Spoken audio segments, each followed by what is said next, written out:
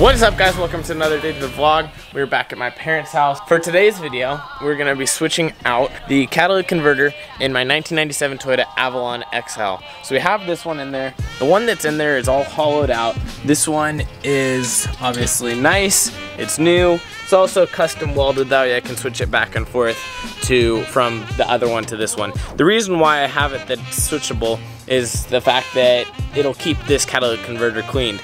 Actually, this catalytic converter I only used for like a couple weeks before I switched it out to a hollowed out one. The reason why I did that is that way when smog time came around, a year and a half, two years later, then I would just be able to have a perfectly clean, brand new catalytic converter that I can throw right back in there and have everything smog very easily. And first things first, let's jack up the car and let's start undoing those bolts and hopefully they're not rusted through and it'll be an easy, quick job and we can get this thing all catted up.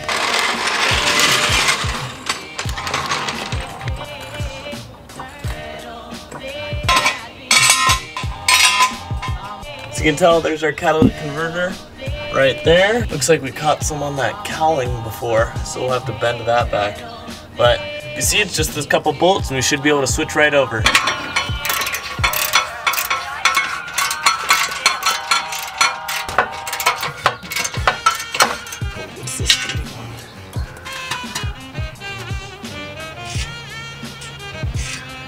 One minute, 37 seconds later.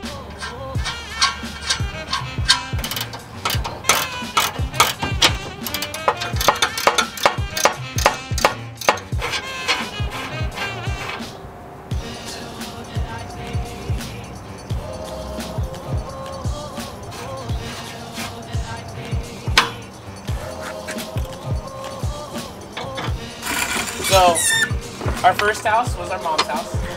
Alrighty guys, thank you so much for watching today's video. We have it all installed, everything's back together, so I'm gonna drive it around for a couple hundred miles and then get this thing smogged. Thank you so much for watching today's video. I'll see you guys in the next one. Alright, nothing else to say, guess it's time to end it. Too many thoughts on my mind, I can't sleep at night, so I just keep writing. I don't need no help, I don't need opinions, so don't waste my time then. I just been living online, my city don't show me no loving, that's fine. Fuck local radio stations, I got more plays than all of these rappers combined. I'm going, I'm going again, I've been going in, I'm fed up with so many things. I gotta just let it all out. I'm talking about the shit they've been talking about, telling me I should do this.